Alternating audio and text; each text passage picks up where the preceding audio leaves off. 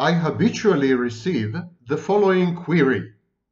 How do I get my narcissist to go to therapy? First of all, I love the possessive, my narcissist, like my dog or my, or my cat or my goldfish. How do I get my narcissist, my pet, to go to therapy? And today I'm going to teach you how. I have no idea why you would like to get your narcissist to therapy rather than, for example, going no contact. But you know, to each his own, and there's no accounting for taste. So those of you who are masochistic and enjoy being abused and tortured by a narcissist, I'm going to teach you today how to get him to therapy. And to do so, I consulted the second leading expert on narcissism globally. Her name is Franny, eh, Granny, Franny Chris. Granny, Franny, Chris. Yes, it's a mnemonic. Granny, grandiosity. Fanny, fantasy. Chris, crisis. These are the three reasons that narcissists attend therapy. Grandiosity, Granny. Fantasy, Fanny. Crisis, Chris. So stay tuned and listen to what Granny Fanny Chris has to teach you about narcissists because if there's anything, I mean, if she um, forgot it, you still have to learn it. there's nothing she doesn't know about narcissists. And so I learned a lot from her over the years, and I intend to impart this knowledge, being the altruist and charitable nice person that I am. I'm also Sam Vaknin, the author of Malignant Self-Love, Narcissism Revisited, and a former visiting professor of psychology. Let's delve right in. How do you get this stubborn mule into therapy? How do you convince him that something is wrong with him, that he needs fixing and healing? Well, here's the first hint. Don't. Don't ever imply that something is wrong with your narcissist because he's perfect. Nothing is ever wrong with him. Everything is wrong with you. This is called alloplastic defense. You are the you're the one to blame. If things got have gone awry in the relationship, is is because you are imperfect in some way. You are maybe mentally ill. Maybe you are too aggressive. Maybe you're too quiet and shy. Maybe you don't know how to manage him like his ex. maybe and maybe and maybe. It's always you. The blame, the guilt, the shame, the responsibility belong 100% to you. He is perfection reified. He is godlike and therefore not amenable to criticism, not open to disagreement, and should never be subjected to scrutiny. So it's a very bad gambit, apropos chess, it's a very big bad gambit to come to the narcissist and say, listen, my narcissist, something is wrong with you, we need to get you some help. The narcissists don't need help. They don't need advice. They don't need anything and anyone because, as the song says, we are the world. they are the world. They they're not they're never helpless. They're never hopeless. They're never clueless. They know everything. And if they don't know, exactly like Chat GPT, they confabulate, they invent. so that's a that's um going this way of trying to mirror the narcissist, trying to convince him rationally, reasonably that something may be wrong with him would lead you nowhere except to conflict and disagreements and arguments and if the narcissist is violent and aggressive, even worse. Don't go there. I'll teach you three alternative ways which are far, far more efficient in obtaining this goal. Let's start with the first one. You remember Granny, Fanny, Chris? Granny, grandiosity. Co-opt the narcissist's grandiosity.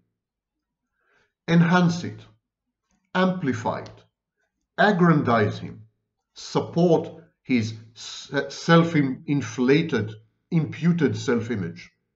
Make him believe that you believe what he believes about himself. And then use it against him. Leverage it to motivate him to go to therapy. It's like in martial arts. Use the opponent's momentum against him. So challenge the narcissist somehow. Tell him, I'm sure you can do this. I mean, surely you can do this. Surely you can attend therapy. Surely you are much more clever, much more well informed, much smarter, much more erudite, and much more perspicacious than any therapist alive and any therapist dead for that matter. so challenge him, render the therapy a sort of challenge as if you are 99% of the narcissist's capacities, but you need this extra 1% bit and he can provide it by putting himself to the test because narcissists are grandiose and at least overt narcissists are convinced of their invincibility, of their perfection, of their brilliance, etc., etc. Few narcissists would turn down the, such a challenge. They would venture forth to prove to you how all-encompassing they are, how insightful and how amazingly, amazingly IQ endowed. I haven't met a narcissist who has less than 190 IQ. Okay, so co-opt his grandiosity. Just use his grandiosity in ways which would convince him to regard therapy as proof of his divine status. Let him view therapy as a way to convince you and everyone around you that, for example, he is open to new experiences. He is a rational person. He is a reasonable human being etc., etc. Challenge him um, to show himself in a good light as a pro-social, communal, helpful person, caring, loving, and compassionate. For example, tell him, nothing is wrong with you. I am the one who needs help. Please help me by attending therapy with me. I know I know that I'm to blame and I'm responsible for everything that's gone bad in our relationship. I know that something's wrong with me, but I can't help myself. Only you can help me. Please, will you will you be my companion in therapy? Will you attend therapy with me? I'm sure that your involvement in the therapy would render it so much more relevant, so much more insightful, so amazingly transformative so please do it for me. Appeal to his self-conception as your guru, your teacher, your father figure, your leader and your guide. And present the therapy as something you need. He doesn't need therapy, of course, but you do. And because he loves you, he cares about you, and because he's a good person, yes, there are narcissists who believe themselves to be good people, believe it or not. The powers of self-deception and self-delusion in narcissism are enormous. And majority of narcissists would actually tell you that they're very nice people. They may abuse from time to time. They may be abrasive, but this is only tough love. They mean well. They are charitable. They're altruistic. Narcissists compensate for the internal bad object by creating uh, an external good object. So they are perfectly good people. A narcissist believes himself to be a good person. Appeal to this ostensible, fictitious strand of compassion and empathy in the narcissist. Tells him, you're amazing, you're so supportive, you're so loving and helpful and caring, you're so compassionate and affectionate and attentive. Take this extra step for me. Make it happen. come with me to therapy. And they will. Try it, try it at home and let me know. This is Granny. Her name is Fanny, the fantasy. The narcissist interacts with you, his intimate partner, and even a business partner, via a shared fantasy. Shared fantasy is the exclusive interface between a narcissist and other human beings. If you move, if you talk, if you walk, the narcissist will create a shared fantasy with you or will have nothing to do with you.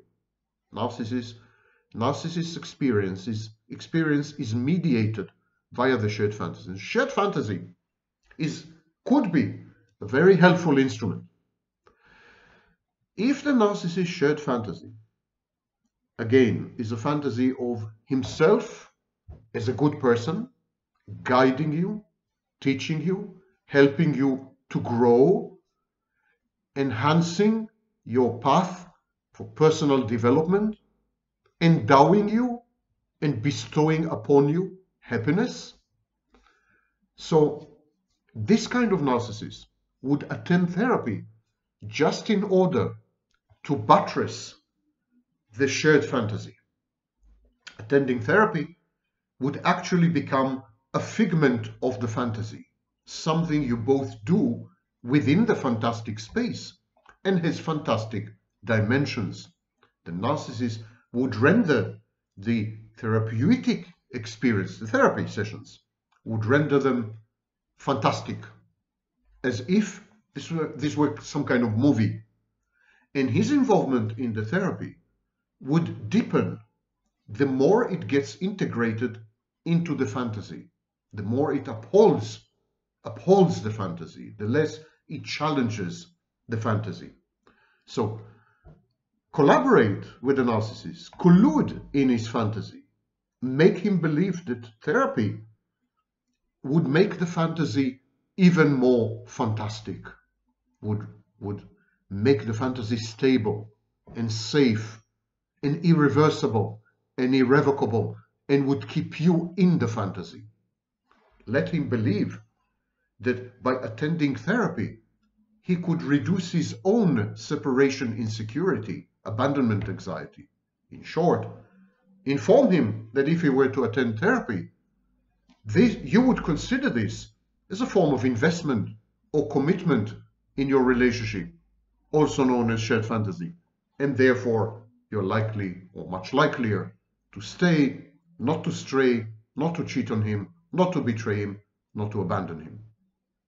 Narcissists are very um, goal-oriented when it comes to narcissistic supply and the shared fantasy. In, in this sense, they're a bit psychopathic. So if what it takes is to attend therapy, the narcissist will. Just have to get him through the door.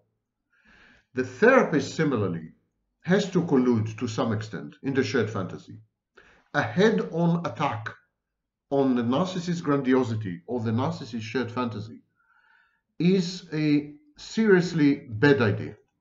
And the advice afforded by experts such as Elsa Ronningstam, Ronningstam Igor Weinberg, and, and many others, the advice um, regarding narcissists in, in therapy is indeed to not confront them, to not try to introduce reality testing confrontationally in your face.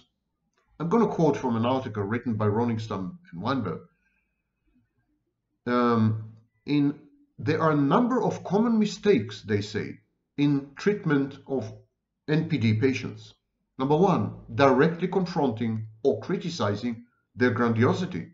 Number two, over-attending to the patient's grandiosity by ignoring insecurity, vulnerability, and failures, as well as real personal capabilities and assets.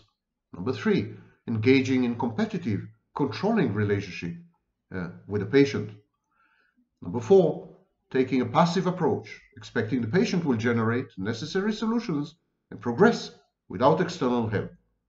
These are the pitfalls in the therapy itself, but these are also the pitfalls in convincing the narcissist to attend therapy. If you confront and criticize his grandiosity head on, forget about it.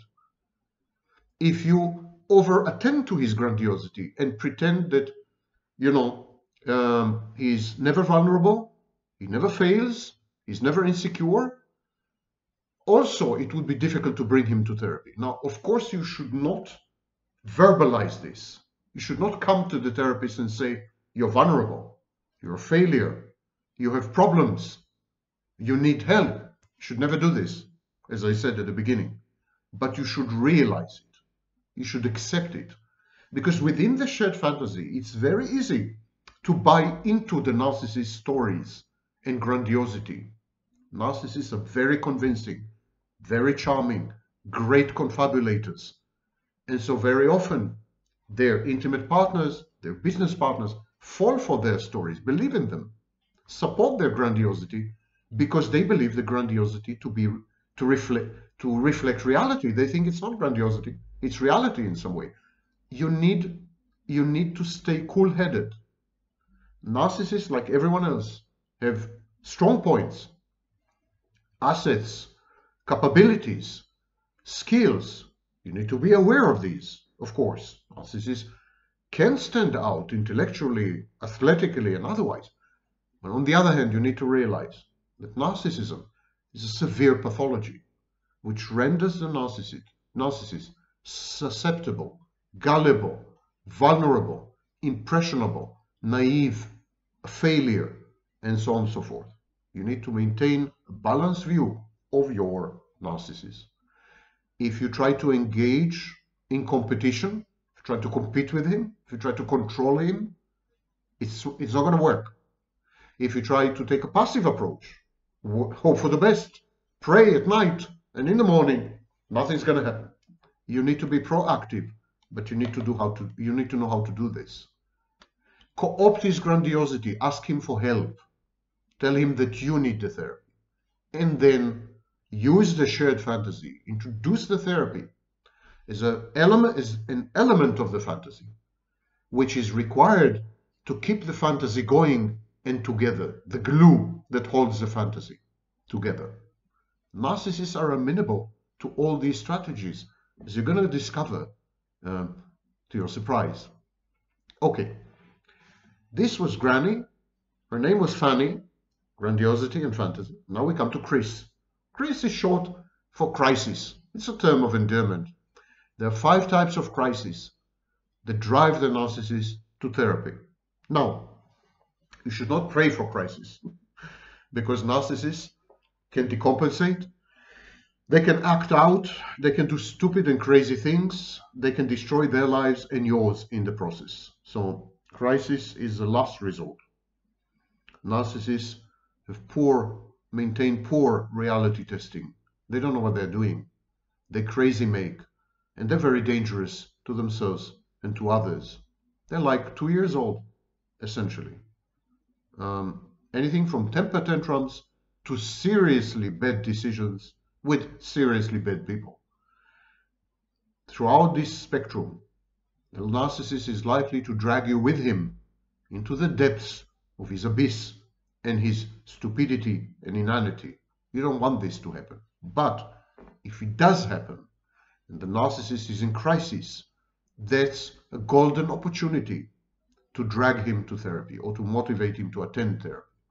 I, I mentioned mortification in many previous videos, five or six of them.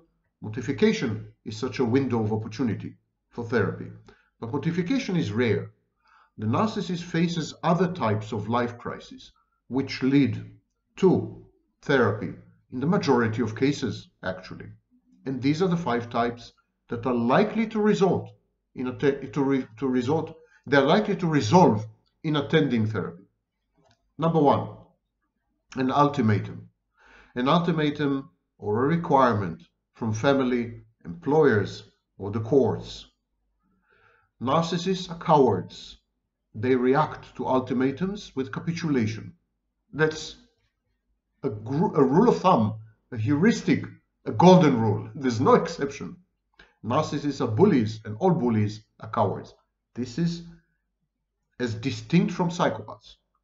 Psychopaths are actually fearless and reckless and exceedingly dangerous, especially when they are silent. So make the distinction between narcissists and, and psychopaths. Narcissists, classic narcissists, are cowards. When they're faced with ultimatums, they capitulate and they obey. Now, the narcissist presenting presenting in therapy um, as an as an outcome of an ultimatum or a court order and so on is likely to complain of um, very minor fringe issues.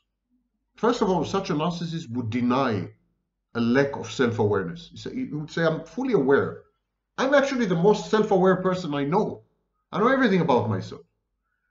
Um, and when he, when in this process, when involved in this process of protestation, when trying to convince the therapist that he is fully insightful, utterly aware of what he's doing and not doing and who he is, then and there emerges the essence of the narcissist.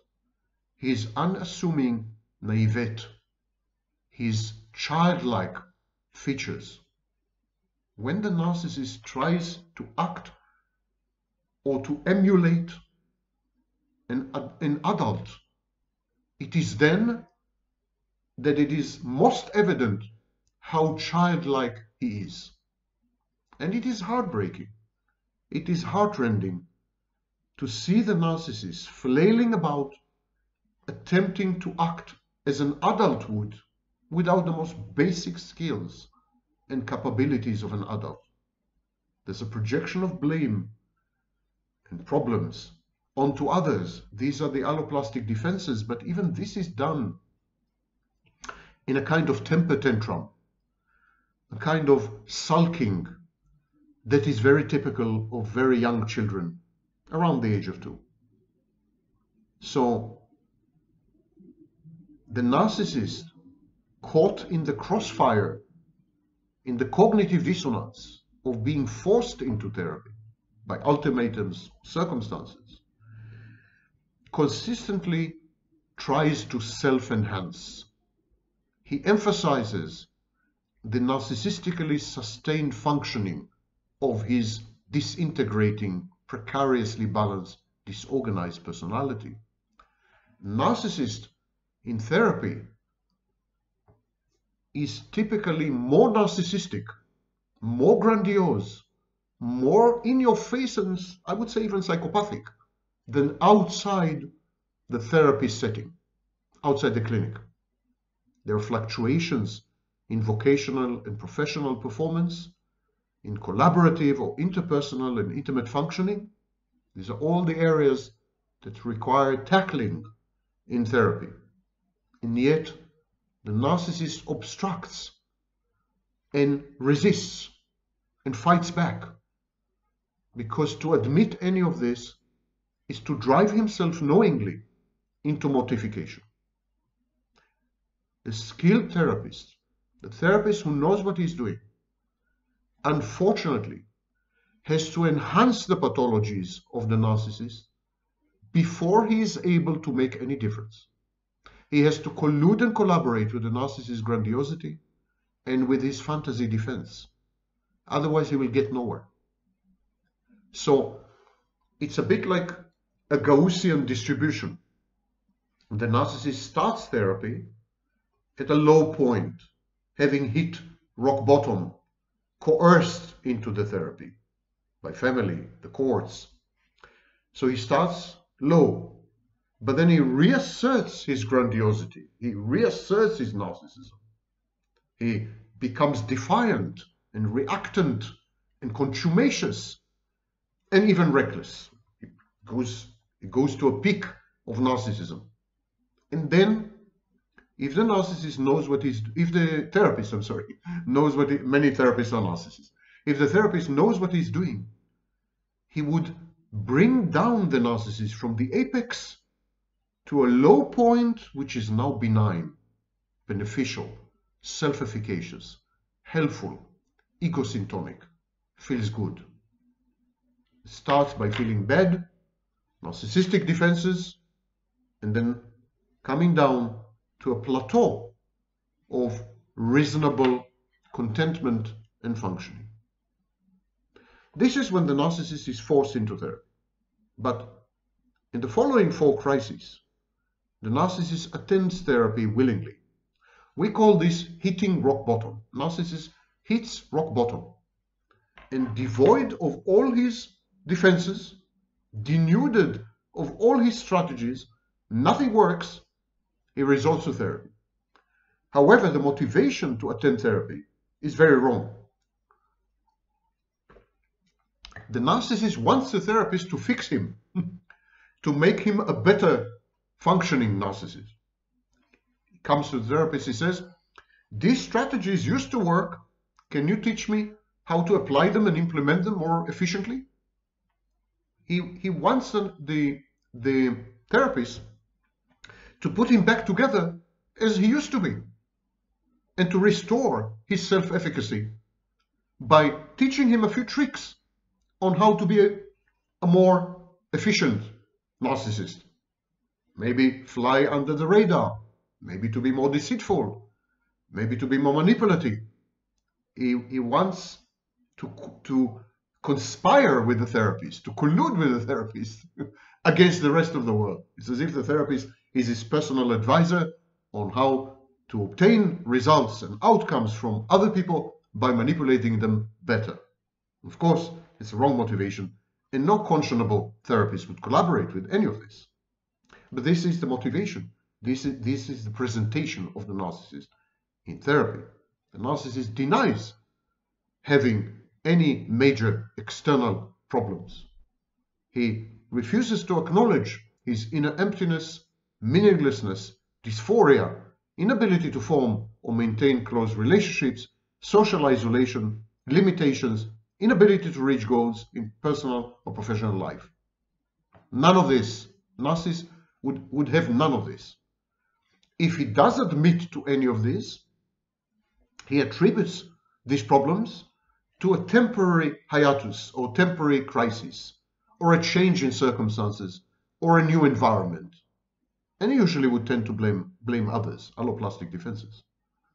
So even a narcissist who comes to therapy and says, you know, you know, I, I feel empty, my life is meaningless, I'm depressed, I can't work, I can't maintain close relationships, I keep getting abandoned and betrayed by my intimate partners, I'm socially isolated, I can't reach goals recently, I'm not self-efficacious, my professional life sucks, my personal life, don't ask. Even a narcissist who admits to this list of shortcomings, flaws, problems, hindrances, obstacles, issues, even such a narcissist would tend to embed this list of complaints in a context which would exculpate the narcissist, exonerate him, remove him from the scene, so to speak. These are things that happen to the narcissist, not things that he makes happen.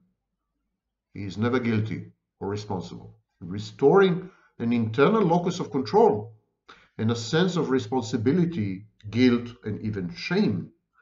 These are the primary tasks in therapy with a narcissist. A narcissist has consistent, um, um, a consistent kind of self-regulation, which is pretty high functioning in interpersonal and vocational settings. He has when he is able to obtain supply. So as long as the stream of supply is uninterrupted, the narcissist regulates pretty efficiently and he can remain and does remain high functioning even in interpersonal settings and in the workplace. All narcissists have areas of success. All of them are recognized for this or that. So internal doubts self-criticism, distancing, detachment, they are reactive to circumstances. They're circumstantial. They're environmental. What I'm trying to say in short is that the narcissist's main problem, usually, is a lack of supply. Even mortification is about the abrupt withdrawal of positive supply and its replacement with negative supply. It's all, these are all supply driven issues and topics and problems. The focus should be on supply, how to reduce or diminish the need for supply, and how to regulate it more, more efficiently. When the narcissist faces an acute crisis, getting fired, a vocational crisis, financial crisis, personal failures, personal losses, he reacts with outbursts of rage, sexual dysfunction, situational anxiety, insecurity, inferiority, fear, and above all, he gets in touch with his reservoir of life-threatening shame. This is a reaction to gradual corrosive life circumstances. It's, this is actually what we call narcissistic mortification. Narcissistic, narcissistic mortification is a life threat. It leads to suicidal ideation. On the other hand, it's an amazing opportunity. Some would even say that it's worthwhile to mortify the narcissist intentionally in order to induce healing later. This is one of the philosophical pillars of cold therapy, the treatment modality that I've developed. Now, the next type of crisis which drives a narcissist to therapy is a mental disorder, acute or gradual onset of some problem, bipolar disorder, depression, anxiety disorder, major depression, anxiety disorder, post-traumatic stress disorder, some catastrophic event, substance abuse. When mental, the mental functioning of the narcissist deteriorates considerably, he reacts with depression, anxiety, rage, mood lability, growing dependency on alcohol or drugs, sudden memory flashbacks, intrusive thoughts, and obsession compulsion. The narcissist tries to self-regulate. He uses a self-enhancing function of mood elevation, it's often via substances. So he would drink, or he would do coke to feel omnipotent and, and grandiose and um, in some, um, invincible. So there is a reoccurrence of narcissistic trauma in a way, a sudden or gradual functional decline when the narcissist develops a comorbid, mental, severe mental health issue. It's traumatizing, and it usually drives him to therapy. When he's when, when he goes to therapy, he would usually place an emphasis on the secondary mental health issue. So he would place emphasis, for example, on substance abuse or on a mood disorder, his depression. But he would refuse to acknowledge his narcissism. Narcissism is is walled off, firewalled. It's a fortress. And the only ways, only two ways to penetrate these forces, the only two roads leading to the forces, only drawbridges, are grandiosity and fantasy. Therapists must accept this. Narcissism may be the only case in therapy where the therapist should actually encourage the pathology of the patient in order to be of any help at all. And finally, suicidality.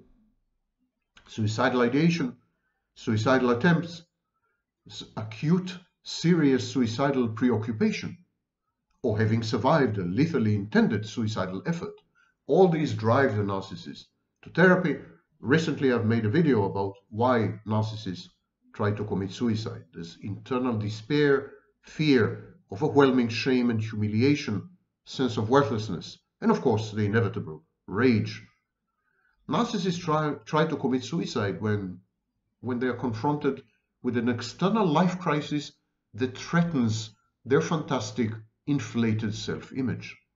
A job loss, financial crisis, failed promotion, divorce, loss of significant sustaining attachment, uh, uh, crumbling or collapse of self-regulatory support, narcissistic supply, um, which is deficient or vanishing, mortification, some subjective traumatic or severely humiliating experience that's known as mortification. So all these may lead to suicidality. Now, when you, as the intimate partner of a narcissist, When you notice any of the crises that I've described, that's your opportunity. He will be much weaker now. His defenses are down. He's decompensating. And you can convince him that therapy is the right way to go about it. It's a kind of acting out. Therapy would prove his mettle.